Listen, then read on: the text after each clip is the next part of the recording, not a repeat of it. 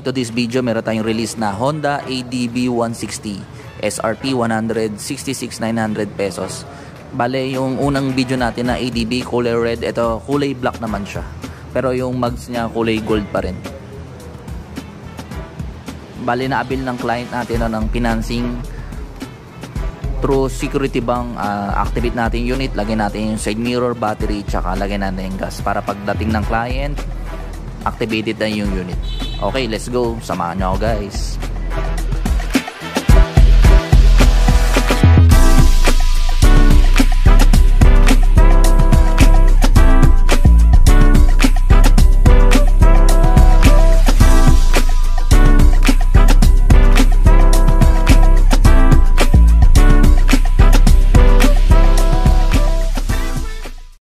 Ito sir, uh, dalawang remote yan sir ah. Tsaka ito, dalawa rin yan ito yung T-code ko in case na mawala yung remote ito po yung pagbabasehan mo para mapaandar mo pa rin siya no?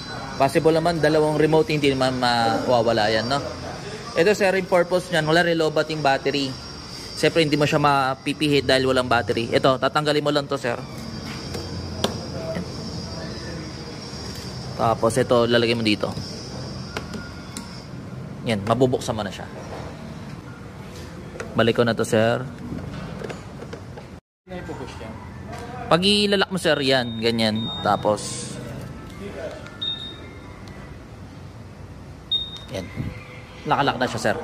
Once na wala ng ilaw, ibig sabihin, naka-off na siya. Oh. Tapos kapag ginalaw mo sir, may alarm din siya. Yan. Pag tanggalin, pidutin mo lang yan para mawala yung alarm. Pag i-on yung motor sir, yan, kulay blue na siya. Ay, Oo, sir. Basta mag-kulay blue. Yan. Pag start sir, yan. Hintay mo muna matapos yung load bago mo siya i-start. Wala siyang power pag nasa una, unahan na preno. Dapat likod na preno. Dapat preno na likod sir, tapos bago ma start Sample sir, sinide stand mo, mamamatay. Tapos pag naka-side stand, tapos sini-start mo, hindi rin siya gagana. Check muna natin mga electronic kung gumagana. Mga signal light. Signal light, left side, yan sir, LED na. Diyan ka muna sa unahan sir. Right side, hazard, dito sa right handlebar. Dito. Busina, high and low. Yan, nadadagdagan. Pag lari, uh, nakabukas yung ignition sir, nakabukas na yung headlight, wala siyang patayan. Sa likod naman tayo sir, try natin. Signal light sa right side, left side. Yan sir, gumagana hazard, brake light sa unahan. Yan. Rear brake. Sir, 'di ba, kulare pinandar mo siya sa umaga, painitin mo muna siya mga 30 seconds bago mo paandarin, no? Ngayon mainit na. Pwede mo na siyang paandarin. For braking period, sir, 40 to 60 lang muna. Hanggang 500 odo. Dito nakita yung yan, zero odo yun, sir. Braking period, sir, 40 to 60 yung takbo tapos 500 odo. Pag nag 501, 60 to 80, sir. Pwede ka naman mag 100, wag lang bigla. Dahan-dahan, no? Pag naka 1,000 odo ka, kahit biglain mo, okay lang, sir. Ha? First essential mo, sir, 1,000 odo or 1 month. Kung ano yung mauna. Free yung service, pero yung oil binibili. Kikita sa panel, sir, ito, odo, zero, tapos trip A, kung Las Piñas sa Montelupa, malalaman mo yung ilan na yung tinakbo. Nare-reset yan, hold mo lang yung right button. Yan, sir. Hanggang trip B yan, sir reset na natin sir no? Bali may dyno na siya o na-testing na sa planta ng 600 meters. Dito naman sa yung average consumption. Yan. Ayun yung sa fuel. Yes sir. Yan. Diyan mo makikita sir no? Tapos temperature ng makina yan. Voltmeter 12.7 eh, standard yun sir. Sample pag nag 11.4 yun diskarga yun. Kailangan i-charge or i palitan yung battery. Pero ito standard. Pero pag inandar pa yung motor tataas pa yan nila yung option sir. Kung papalitan yung oras puta ka sa odo. Hold mo matagal tong dalawang button. Yan. 12 hours o 24 hours? 12 lang. Ano oras ay sir? 10 na o 11 na? 11 28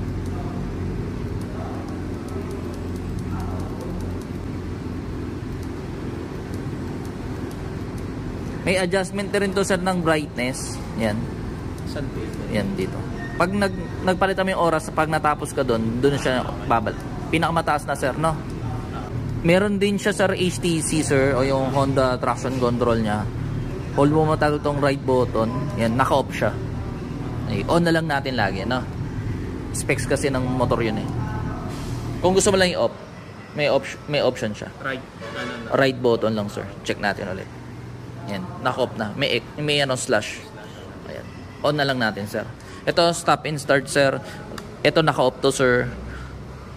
Wala rin na huminto ka, hindi siya mamamatay. Ito, pag huminto ka or traffic, nasa stoplight ka, pag naka-on to, mamamatay yung makina. Pero pag nirev mo, kusa rin siya mag-on. Advantage yun sir, tipid sa gasolina. Pero disadvantage yun, malakas sa baterya. Meron din to sir ah, PSI sa unahan 29 sa likod 33. Kahit may angkas ka sir 33 pa rin yung likod. Dito nakikita sir pag if ever na makalimutan mo o 29 pareha sir. Kahit may angkas o may back ride 29 33. Tapos 10 kg sir yung capacity nitong sa compartment tapos 1 kilo dito sir. Andito na rin yung charger port sir. Yan. Ah, Yes, USB na rin siya. Tapos may takip din. Pagbalik, sir, push mo lang, na.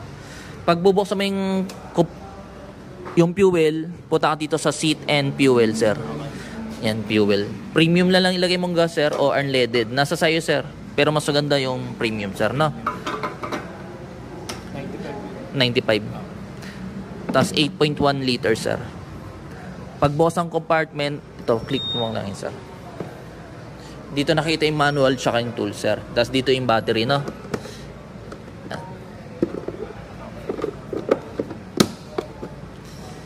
Tapos kung magpapalit ka ng grab ah, para sa top box, ito, sir. Tatanggalin mo. Ready na. Oo, madali lang naman, sir, no?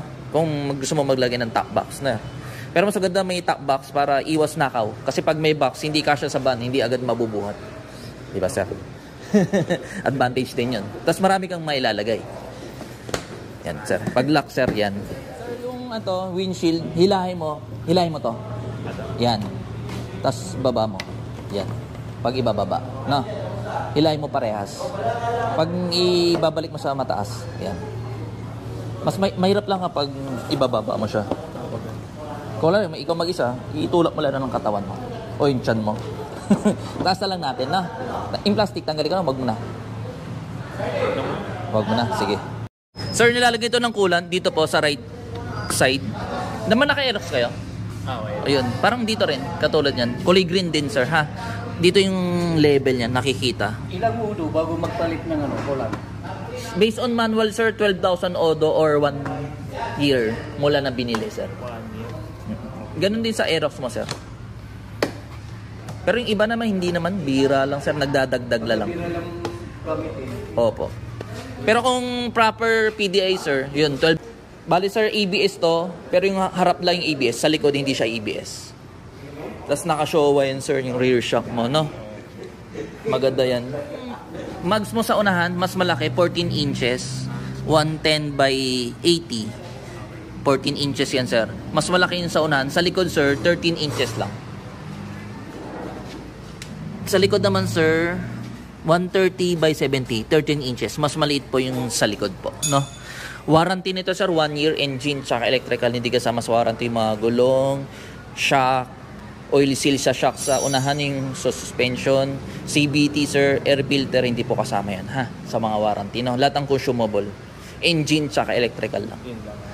Kung magpapalagay ka ng ilaw, kung maaari walang putol sa wire para hindi ma-void yung warranty or Ah, busina. pwede Pwede naman yun. Basta mga top, basta yung mga magagaling gumawa, okay yun sir, no?